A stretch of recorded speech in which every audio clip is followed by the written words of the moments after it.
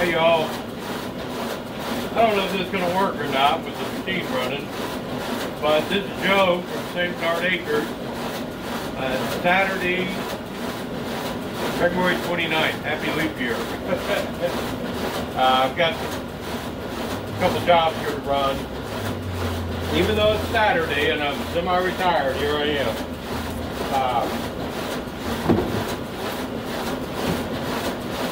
so I wanted to talk about something. The uh, the C word, the CB word.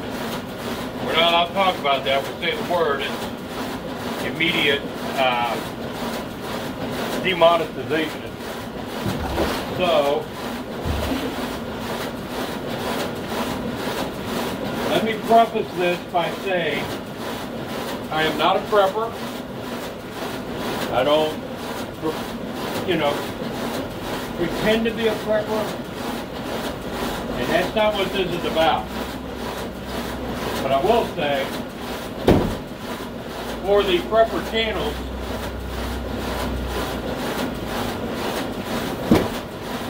this thing has been a bonanza for them. Uh, and it kind of makes me mad the you know, they get tons of views and, and new subscribers and everything for lying, uh, conspiracy theories, you know, just all kinds of crap. They're the untruths, uh, and they don't care the information they're dispelling to people because they want to try to make a few bucks that's why, I hope anyway, that's why it's all demonetized. Um, I don't want to do that. But this does bring up an opportunity to address a subject that doesn't get addressed very often. And it is kind of like prepping. But they're talking, you know, 14-day quarantine or a 30-day lockdown period. You know, those kind of things floating around the air. I don't know about any of it. I don't support know about any of it. Unlike these prepper channels, I don't have sources on the inside to feed me this information. You know, I don't sit in the shed all day long and read all the conspiracy theories, theories so at night I can do a video.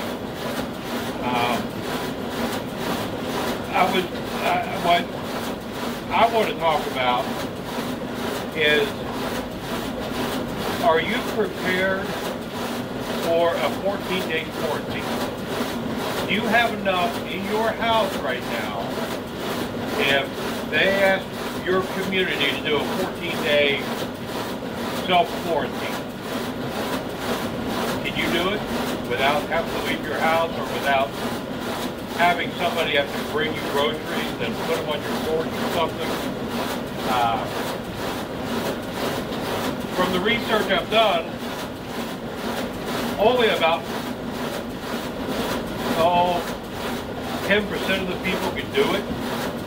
You know, we can, uh, because I've been practicing this for a few years. But, and we're good for a month. I can go beyond a month with some of the the freeze-dried deals I've come across. Um, and I'm more out of St. Acres in case something were happening, we got the opportunity to go out there, would be good as well. But I think you need to look at your pantry, you know, and make sure you have 14 days worth of, you know, staples. Uh, some beans, some rice, soup, canned goods, you know, dry goods that you can make, you know, and not go hungry. Some water. I mean, you know, if you had to do a 14-day quarantine, I don't think they'd be shutting off the water and electric. So it's not a catastrophic type event. Um, but I, you know, you think about things like, you know, we do, we do 30 days, and know, you have 30 days worth of toilet paper, uh, shampoo, any medicines that you need. You know, it's, it's 30 days, stuff won't go bad. And to, uh, I buy the stuff, or Gail buys it, you know, she'll, she'll be at Kroger's, and I have one of 10 10 deals or 5 for 5 deals, you know, on soups or whatever. We were at Kroger's the other day, I had to get my blood pressure medicine. Walked by and saw Hamburger Helper, 10, 10 boxes for $5. Grab it. You know, when they got macaroni and cheese for 50 cents a box, grab a few boxes. Rotate them in your pantry so that you're eating the older stuff first. But it doesn't cost very much money to be ahead of the game. And, uh, you know, with the cats, we used to have dogs. Uh, but a 30-day supply of food for them. Uh, those kind of things I wish people would sit down and think about, you know. Plan out a two-week menu for your family. And at, when you go grocery shopping and you're buying things, spend an extra $15 or an extra $20 uh, and start building up that, that pantry. You know, your just your your quarantine pantry, your lockdown pantry. Uh, you can call it that. Uh, and, and instead of buying the pizza this week, buy the extra food. So you get your, that security blanket. Just having that food in there to me is security. And it's less I have to worry about. Because if we got to do the quarantine or we got to do the lockdown, I'm sure FEMA will be bringing you groceries to your porch, but you're going to have to give up something for it. I don't want to give up anything. I don't want to depend on them bringing me food. Uh, so, that's my advice to you. And you're already starting to see a little bit of panic setting in with people. And back when we first got into digital printing, when I was with the company in Cincinnati, uh, we had this thing called just-in-time printing. I don't know if you ever heard that. But let's say a company prints catalogs. Well, they would have to print tens of thousands of catalogs to make it economically viable. And then next year, when the new catalogs needed to come out, the price changes, they got to throw all those extras they had away and buy, you know, thousands more. Well, with the advent of digital printing and high-speed printing like this, all your catalogs on a CD. You want 10 of them, call and order 10 of them. They're out for you. Come pick them up this afternoon. Got to make a price change or change something else, boom, there it is. You don't have a warehouse full of, of flyers and catalogs and, and spec sheets. You just order them as you need them stores are like that. Walmart only has two or three days worth of, of, of groceries because they have constantly moving trucks around.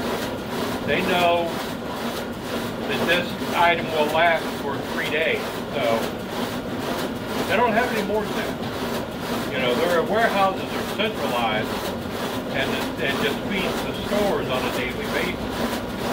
Well, people have become that way.